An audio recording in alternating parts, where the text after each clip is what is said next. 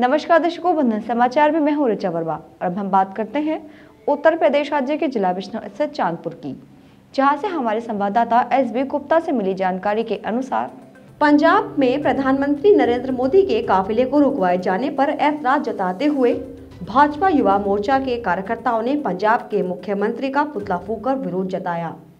कार्यकर्ताओं ने पंजाब के मुख्यमंत्री चरणजीत सिंह चन्नी के खिलाफ जमकर नारेबाजी करते हुए नगर के अंबेडकर चौक से नेहरू चौक तक विरोध प्रदर्शन किया।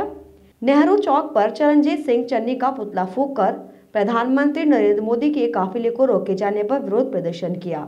इस मौके पर भाजपा युवा मोर्चा के कार्यकर्ता मौजूद रहे।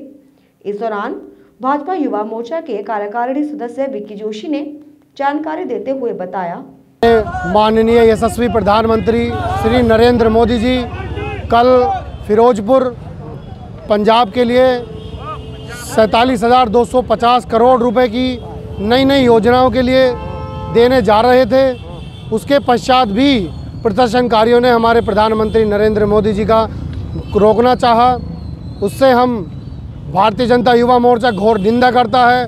और इसी के साथ जुड़े रहे बंधन समाचार के साथ।